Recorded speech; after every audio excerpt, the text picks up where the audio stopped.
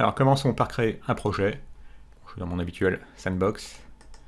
Clic droit pour créer un nouveau dossier qu'on va appeler Hello Leaflet. Ouvrons-le avec notre euh, éditeur préféré et créons un fichier index.html et à l'aide de emmet on peut générer le squelette d'une page HTML simplement en tapant HTML 2.5 et en appuyant sur la barre d'espace. Voilà. En body, moi simplement allez juste pour être certain que ça marche, afficher hello leaflet et lancer.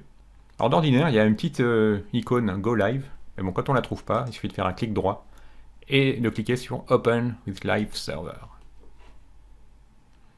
Si bien que maintenant, on va essayer de voir les deux en même temps. Avec ma grosse police, c'est pas facile. Vous aurez moins, de ceci. Voilà. Hello, leaflet. Parfois, on peut avoir une erreur 404 parce qu'il euh, n'y a pas de favicon à afficher. Si ça se produisait, je vous montrerai comment régler ce petit problème.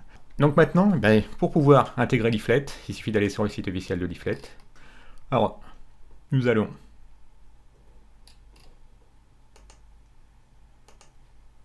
nous rendre sur Leaflet, Tutorials, Quick Start Guide, car ici vous trouverez les liens vers tous les fichiers dont vous avez besoin, en l'occurrence une CSS,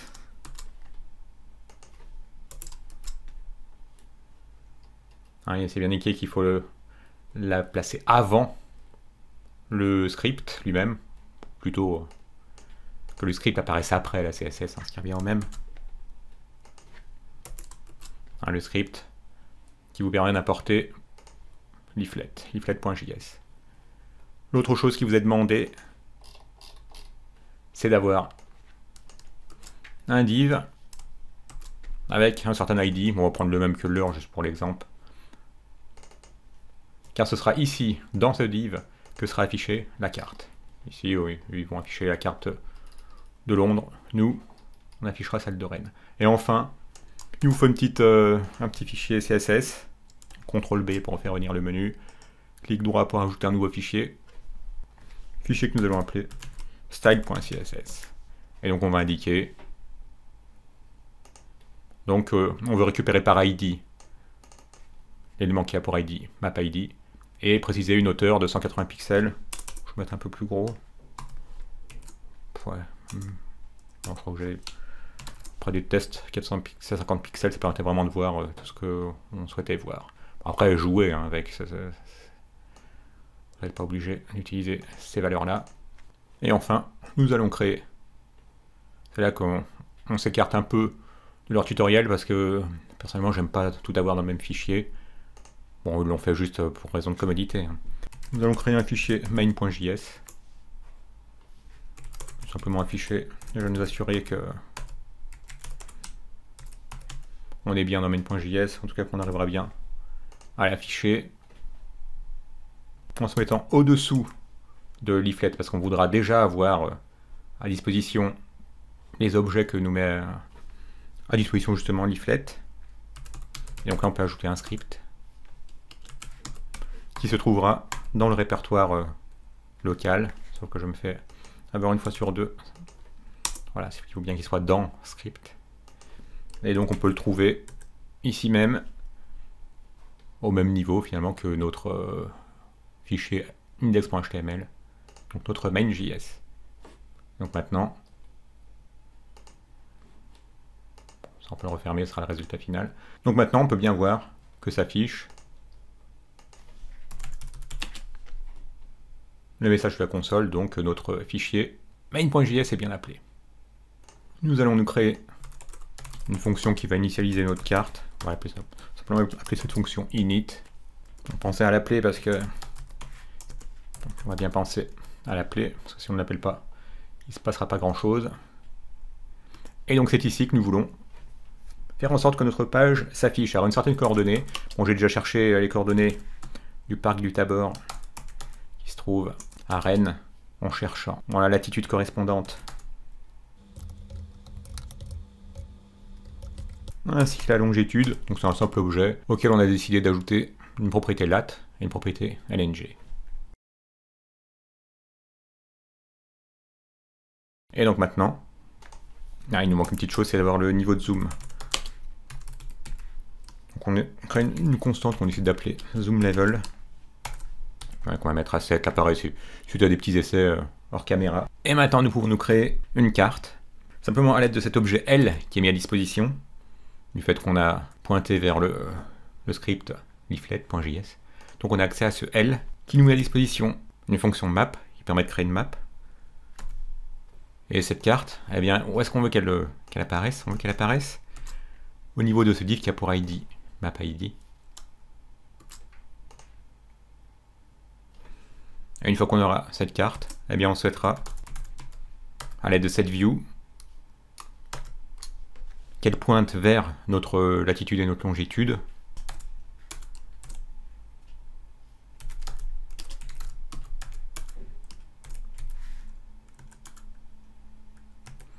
à un certain niveau de zoom. Enfin, il nous faut... Alors, cet objet, cette fonction nous retourne un objet map, vers cette view. Également, c'est un peu comme en, jQuery quand on peut, on peut chaîner finalement les fonctions parce que on a toujours euh, un objet approprié qui est retourné, ce qui fait que c'est assez intuitif. Donc L.map, on obtient une map.setView. Mais donc, puisque ça nous retourne une carte, eh on va la récupérer. Et enfin, il nous faut une layer. Donc pour ça, plutôt que d'avoir à copier ce que la fonction tileLayer nous impose d'indiquer, parce qu'une tile c'est une tuile, si vous avez fait un peu de développement de jeux vidéo avec des choses comme Phaser. C'est assez coutumier du fait que les cartes, finalement, c'est affiché morceau par morceau. C'est pour ça que vous voyez parfois quand vous affichez une carte, vous allez voir des carrés s'afficher les uns après les autres. ce fameux carré en anglais, tile, c'est une tuile. Donc c'est comme si on avait un toit composé de plusieurs tuiles. Voilà, ce, ce toit composé de toutes ces tuiles, c'est votre carte. Donc là c'est pareil, bon, ça va nous retourner un objet qu'on essaie de récupérer dans une variable qu'on a envie d'appeler main layer. Et là, par contre, c'est assez rigoureux ce que ça demande d'afficher. Donc, plutôt que de tout taper à la main, voilà, on va récupérer cette tile layer. Donc on est toujours dans le quick start. Et on peut voir que nous est proposé, au niveau de tile layer, de passer deux arguments. Le premier, c'est l'URL vers les tiles. Et le deuxième, c'est un objet de configuration. Donc on récupère tout ça. On l'utilise ici même dans la fonction tileLayer. À nouveau, c'est en raison de la taille de ma police hein, qu'il n'est pas facile de tout voir, mais bon, simplement à récupérer quand vous voulez afficher une layer, il suffit de récupérer ces deux arguments qu'il faut ensuite passer à la fonction tileLayer. Et donc maintenant, voilà, si on aligne mieux, c'est un peu plus compréhensible.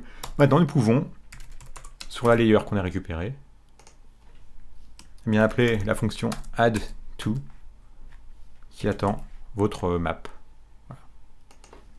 C'est-à-dire, en gros, on, explique qu'on veut appliquer cette layer à cette carte qu'on a créée ici à l'aide de la fonction map. Alors là, vous allez voir qu'on a un petit problème. On va avoir un petit problème s'il ne va pas réussir à nous trouver le container. Ça, c'est classique, ils n'ont pas ce problème parce qu'ils mettent tout dans un fichier, alors qu'en fait, dans la vraie vie, on peut dire, on ne met jamais tout dans un fichier. Ça, ça vient du fait que votre div ici n'existe pas encore au moment où vous appelez, parce que le, le script, finalement, euh, ce fichier HTML, il va être lu dans l'ordre. Donc en ligne 15, vous allez faire appel à ce fichier main.js, qui est en ligne 22 appel init, qui ensuite dans init essaye de, vous créer une carte au niveau de ce div qui a pour ID map_id, sauf que ce div n'a pas encore été créé, puisqu'on s'est arrêté ici pour aller dans notre fichier JS. Donc il suffit d'appeler notre fonction init au moment où la page est loadée, à l'aide d'un bon vieux onload. Et d'enlever ici l'appel à init. Cette fois-ci, c'est un autre problème. L'erreur 401 qu'on connaît bien, unauthorized, en plus c'est écrit, euh, ça me dit qu'on n'est pas autorisé. Pourquoi? Parce que ce qui est attendu, c'est un access token. En fait, il faut aller euh, chez Mapbox, créer un compte. Donc si vous allez sur Mapbox, je vais déjà être logué. Mais bon, vous aurez un lien qui vous permettra de créer un compte. Et une fois que vous aurez créé votre compte,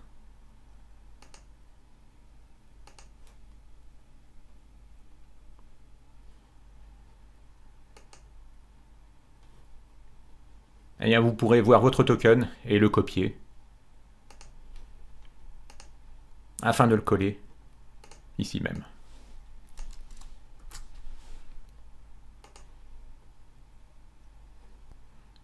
Au lieu d'Elas, ça devient Hélas. Notre fonction n'a pas l'air d'être appelée, et pourtant on n'a plus de message d'erreur.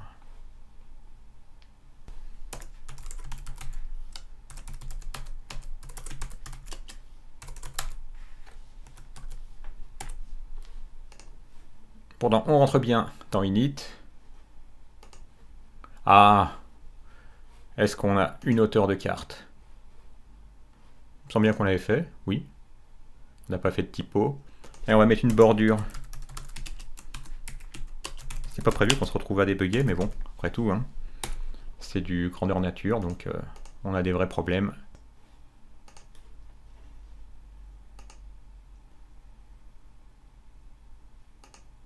Alors, il semblerait que notre euh, style ne soit pas appliqué. C'est peut-être pour ça qu'on ne voit pas notre carte, puisqu'elle n'a pas de hauteur. Eh bien oui, c'est parce qu'on a oublié d'ajouter euh, notre CSS. Style.css. Tadam C'est tout bête, mais bon, après tout, c'est comme je vous disais, c'est réaliste. Donc voilà, nous avons une carte centrée sur le parc du Tabor, D'ailleurs, si on zoome, on devrait arriver dessus. Le voilà. En quelques lignes de code. Bon, évidemment, surtout euh, dû au fait que c'est grâce au script Lin12 que le plus gros du travail est fait. Et voilà, vous pouvez constater qu'en une vingtaine de lignes de code, vous pouvez utiliser une carte à l'aide de, des différentes méthodes exposées par cet objet L.